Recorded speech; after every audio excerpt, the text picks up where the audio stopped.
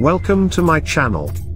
After 5 months of war, the enemy is already running out of quality missiles. High-precision hypersonic Kinzhal missiles, which have only once been used against Ukraine, Russia has only 40 pieces, and today the number of Caliber and Iskander missiles is also approaching a critical value.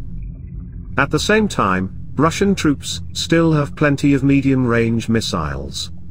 We are talking about missiles with a range of 180 to 280 kilometers, X-31 and X-59. According to Ukrainian intelligence, since the beginning of the war in Ukraine, Russia has used 55 to 60% of its high-precision weapons. And cumulatively, the Russians have only fired within 30% of their entire stockpile, both new and Soviet.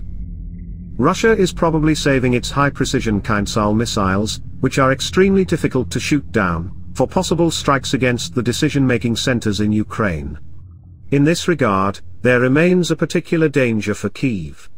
The Kinzhal was previously on the list of Russian missiles that the Ukrainian air defense system is not yet able to shoot down effectively. Ukraine's capital, as well as all the administrations in the country without exception, will remain in the most dangerous state until the end of the war. When Putin is unable to inflict a fireball on the army, then they resort to their old as the world tactics, terror and intimidation of the local population. If you recall, Russia has repeatedly threatened, through its various broadcasting channels, to launch missile strikes against the decision-making centers in Ukraine.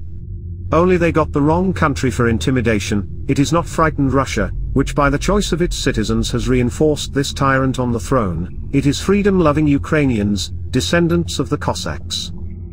To help the channel grow, watch one or more of the videos offered to you at the end. Thank you.